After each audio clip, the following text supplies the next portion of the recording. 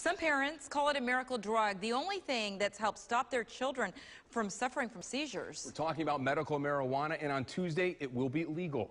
ABC Action News reporter Michael Paluska has more on what you need to know and also witness firsthand why parents fought so hard to legalize it. This is actually pretty awesome because he will he never Oh, gets in front of the camera. Without medical cannabis, Renee Petro says her son Brandon would not be doing this well, laughing, happy, at times seizure free.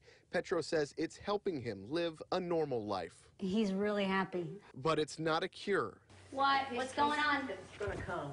Yeah, it's actually coming. something we witnessed firsthand. He's not gonna make it to the sofa. Okay, get him down. Brandon went into a full seizure. Petro ran and grabbed a cannabis nasal spray,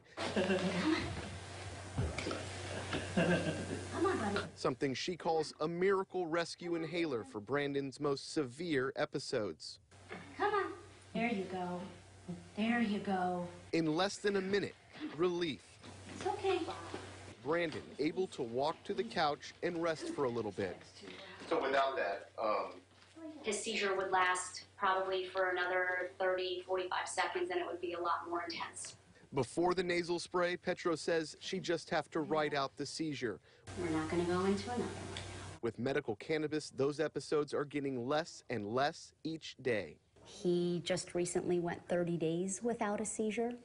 The aggression, the rage, um, suicidal thoughts, the insomnia has virtually went away just by weaning him off of some of these drugs. But because medical marijuana passed, Petro says all the pain and suffering was worth it. Brandon's now on only one pharmaceutical. And with advances in medical cannabis, Petro says this miracle nasal spray should be available in Florida later this year. It's just the beginning to help thousands of families across Florida. Hope that there's something that has virtually no side effects that could stop or reduce the severity and the duration of a seizure.